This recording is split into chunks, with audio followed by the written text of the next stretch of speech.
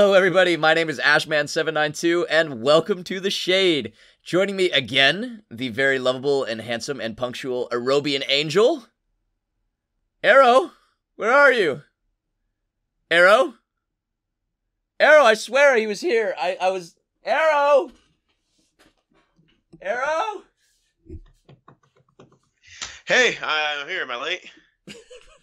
Freaking, where have you been? I had like. You were you were in the waiting room. I saw you in the waiting room. We I Uh-huh. had my assistant bring you in. Did she did she not tell you to come in? She uh, she she said uh, I just had to like wait for like the green light to walk onto the stage. No, it's the it's the blue light. Sheryl, Blue light. Sheryl, get in here, Sheryl. Sheryl, I'm very disappointed in you. I told you yesterday it's the blue light. I know it's your second day at work. I know, I know, and this is but you got this is the third episode. Mr. And Angel has a lot of time. I mean, he doesn't have a lot of time. He he's got a very busy schedule. I can't I can't bring him in. You know how long it took for me to get this guy like to, to record with me? It's been it's been a solid month since I petitioned him, okay? And Sheryl, I can't be having bad episodes, all right? I'm gonna have to have a talk with you later. But uh but next time, you better you better be careful. It's the blue light. So sorry, so unprofessional. My bad. Uh It's it's entirely it's entirely fine. It's like so long so long as we could just get to talking about the real important issues. yeah, I know what you're talking. Sonic Mega Drive. Sonic Mega Drive. Sonic Mega Drive all the time. That's all we ever talk about on on this channel. Um, and and today, uh, I was thinking the best way we could talk about Sonic Mega Drive. You know, we could get Yes. into our, our our good buddy Knuckles here. Look at him. Look at him. He's Knuckles is looking pretty bomb. I right wanted now. to do something fun with Knuckles because you know my favorite incarnation of Knuckles comes from the Sonic Boom universe. Am I right? Am I Really? right? Yeah. Like, no. Okay. Let, can I be real? Yeah. Yeah. For real. Yeah. All right. So first time I saw Boom Knuckles, right?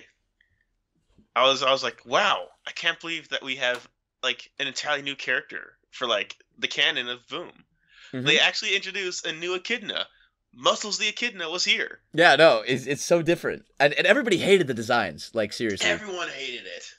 In fact, I remember when the silhouette first showed up. You remember like when they had like the silhouettes up on the put up put up the picture with like all the characters like silhouettes up against like a stone wall. Dude, do I remember the silhouette? Yeah, and and like everybody was like filling in their own like kind of ideas for like what it was gonna be. I, I um, distinctly remember when uh when they made Knuckles like Sally Acorn. Yeah, I didn't like, see that had- one. He had like a giant Sally Acorn, like giving Sonic the bedroom eyes, and Uh, like and like Amy was like, "What the fuck?" oh yeah, yeah, man. I don't know. And, and I saw that and I was like, you know, I, I totally understood. Like the second I saw that, I was like, okay, I get it. They don't want all the characters to be like, you know, cardboard copy pictures of themselves. Like, y- you know the deal. Like, fan characters are all the same because all Sonic characters kind of look the same. They're all kind of got the same, like, body shape and all that other stuff. And, you know, Knuckles is the power type guy. He's the strong one. And I totally always understood that. Um, but they went farther than that. They, like, took my favorite thing about Knuckles. And while I get it, like, Knuckles is a beast. Um, he's tough. He's serious. If you like that incarnation of Knuckles, I don't think he's going anywhere in like the maybe the main canon. Um, but like the comics still keep him going on as like a pretty tough guy. Uh, but they they decided to make him the fun, lovable kind of like the, the love, fun, lovable kind of idiot character. Like not an idiot. I don't want to say that. He's like the Patrick. I I think I think like Patrick still kind of goes in like the, the idiot area, but like let me let me He's the lovable idiot. Aero. let me tell you something, right? The lovable idiot. Yes. Knuckles Knuckles and Boom. He is just he's my favorite. He's one of my favorite characters. Are, are you Like, are you like being real or like? I, I, am, I am being hundred percent truthful. Like there is not a hint, a hint of sarcasm. I'm being real. I feel like you are you're totally being like- no. No, no, no, no. Hear me out. Hear me out. Hear me out. Okay, all right. If you just like go into Boom and you're like, "Oh man, Knuckles is an idiot," and then you know he's like, "Oh, uh, Sonic says this," and then Knuckles like, "Oh," and then you're like, "Oh, what an idiot!" Right? Uh, yeah, yeah, But like, what if he was on such high of a level of like mental fortitude that well, they had that episode. That was the one where he became mayor. yeah, like his way, his way of humor is through like obfuscating his his smarts, intentionally bloating up the dumb side of things. Yeah, I don't know. I mean, I could I could see that. Like, So, like, he's, he's like just playing this one us. joke. There's one joke where like uh where Sonic's like, we can't just stand here and watch Eggman's like base get blown up, right? And Knuckles is like, "You're right." So then he sits down. I remember, yeah.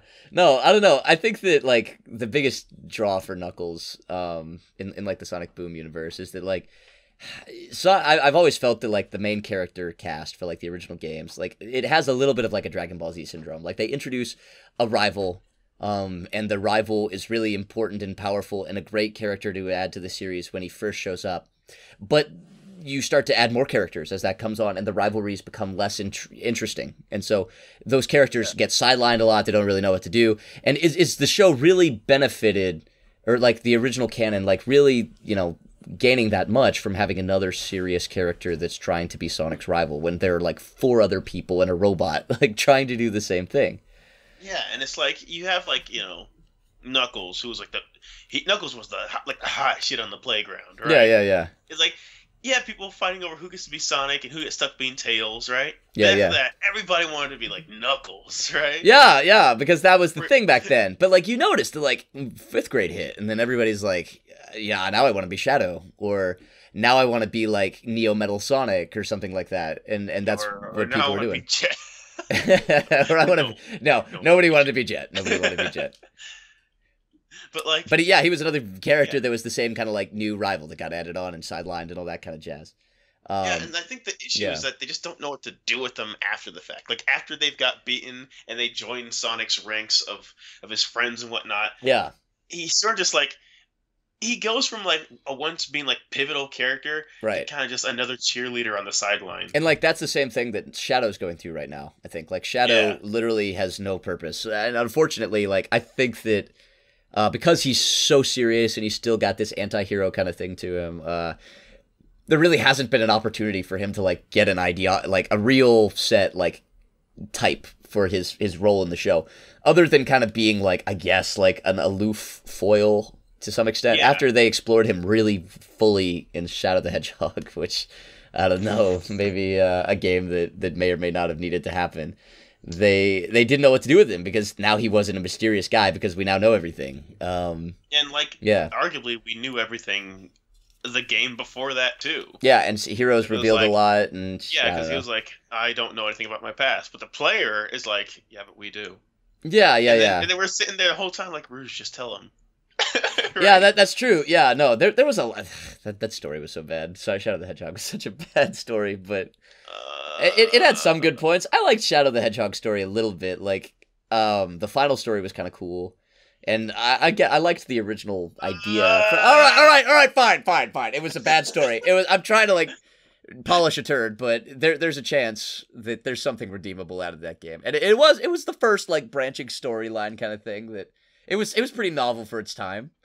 I mean, like, yeah, good idea for like having the ambition to do it, but if you're gonna like foster that ambition, you gotta like have like or the responsibility to make sure it you know works. No, it didn't work. And like the idea of like it being like a fetch quest and kind of stuff in a Sonic level was really bad. The controls were terrible. Shadow the Hedgehog was a was a crummy game, but like I, I still think that like when it comes down to characters, they they need to have a, a moment in the spotlight, uh, but they can't just be the rival as their character because I don't know Knuckles over the course of time became Sonic's friend instead of rival, and that was a good change. Like if they kept him as the aloof guy that only sparred with Sonic whenever he went onto Angel Island, it would have been the same problem that Shadow's having. And so now that uh, Knuckles is kind of the friend, he can sort of be like the the the funny Ah! wisecracking dude.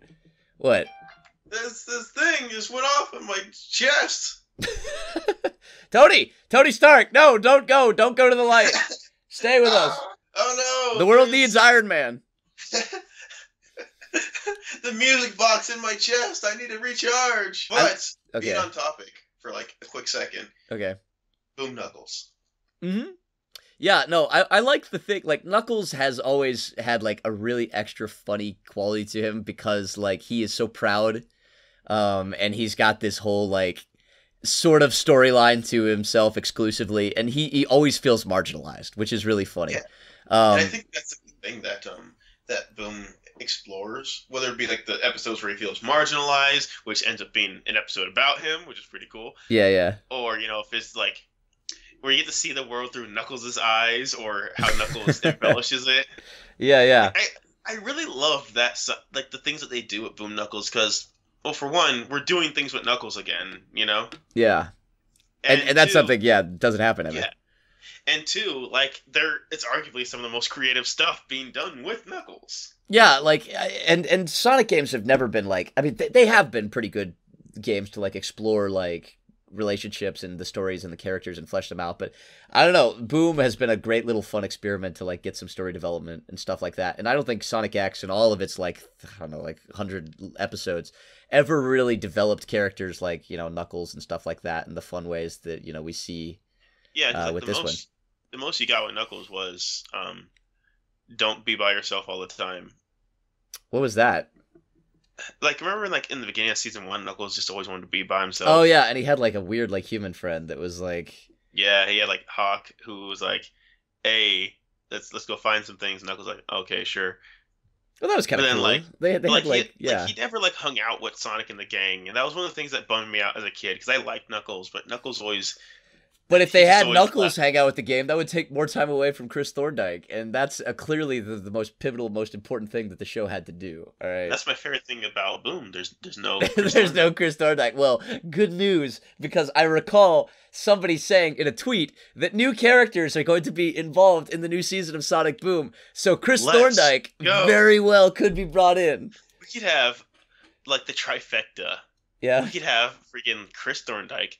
We could have the Gun Commander and Princess Elise all in one episode. Don't forget Black Doom. You got to have Black all of Doom? yeah. Maybe. we we referenced Shadow the Hedgehog's and you know really powerful Oscar-winning storyline, so we got to include something from there. Um, and, and there are humans in the universe because Knuckles exists in Sonic. I mean, uh, because because Eggman exists in Sonic Boom. Um, so I don't know. The, the the floodgates are open. It's possible. A whole new world. Imagine how interesting an episode of Boom would be with a whole episode about Chris and his parents in, in the Sonic Boom context. How well it would fit in with everything else. Sonic else. Boom season finale. Chris's parents finally divorce. Oh my god, if we somehow magically call this, like, if there is just an alternate dimension, like, I believe in the multi universe theories. Like, imagine if there is a dimension out there when they bring Sonic, uh, Chris Thorndike into the show, and, like, he actually does that, and we are, like, proclaimed as heroes for being psychics, and then we get, like, a lot bunch of money because everybody wants us to predict, like, the World Series. Uh, that would be great. Let us let us indeed live out the bad future. we we whatever you do, do not destroy Metal Sonic or or the, Don't the destroy Metal. Sonic. Don't destroy the original like Revitalizer. Don't even get the Time Stones, kids. Matter of fact, just just wait out three minutes. Just wait out there. Just jump off the stage, like legit. you You don't. Yeah, and, and if yeah, don't even worry about finishing the game. You'll always get a bad future. Yeah. that's great. It's fact of life. Freaking funny.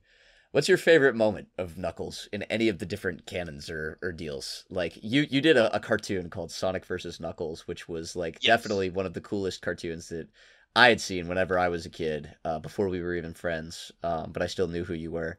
What what's your favorite like out of all the incarnations of Knuckles? Like you know we, we, we talked a lot of fun about Sonic Boom Knuckles, but like what what like seriously did you like the serious Knuckles when he was at his peak, kind of way back then, or do you care for like you know I don't know uh, some of the more funny wisecracking moments, maybe even the comics? Like what- what's your favorite incarnation of Knuckles? I I think I like the dynamic that like you know Knuckles and Sonic have, but like I don't know, maybe like I'm just not tired of Boom Knuckles yet. Yeah, Because like I kind of got tired of, of regular Knuckles, how like you know he'd be like, "Hey, I'm like proud and I'm headstrong." Okay, that's cool. And then Sonic's like, "But you're also an idiot, right?" yeah, And yeah. then, then Knuckles like, "Shut up!" Right? Hey, wait up! Versus, versus like you know Boom Knuckles, who's like, "Hey, I'm proud and I'm headstrong," and like Boom Sonic's like, "Yeah, and you're also an idiot, right?" Yeah, And then and Boom Knuckles like, "Well, you're an idiot too," and then Boom Sonic's like, "Yeah, let's go do idiot stuff together."